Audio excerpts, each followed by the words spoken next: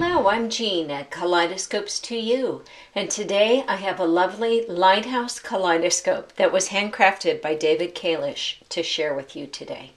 If you're viewing this on YouTube, please check back to our main website at kaleidoscopes2u.com to confirm availability. This lighthouse kaleidoscope, um, here at Kaleidoscopes to You, we purchased it directly from David, and it has always been here at our gallery. We have been reluctant to market it simply because of the paint finish issue here on the finial. And the brass finial here is intact, but this top piece that was painted black, the black paint is flaking off.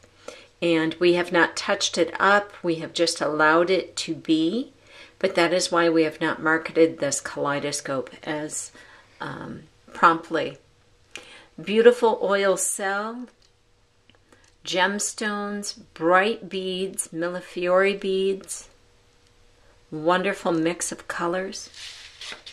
The main barrel of the kaleidoscope is a four-sided bubinga wood, and the eyepiece is here at the bottom that's very large.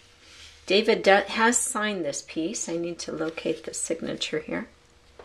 D. Kalish, 56 of 300, 2006. Now the mirror system here has an opening across its widest point of two and three quarter inches and uh, it is an equal, uh, equilateral triangle at the eyepiece and it is tapered. So allow me to bring this to the camera and I'll go ahead and start turning it. But the tapering of the mirror system where it is wider by the eye and then equally tapered all the way down to the object chamber on all three sides creates this domed, almost three-dimensional image.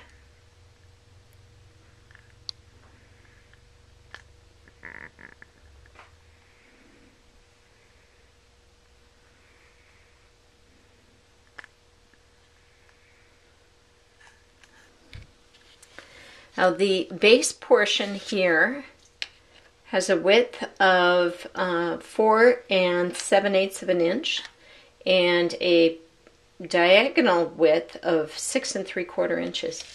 The four brass feet protect the glass eyepiece from any scratches or damage there as it rests on your table. The, the width across the top here is three and a quarter inches and its overall height is just under 12 inches in total height.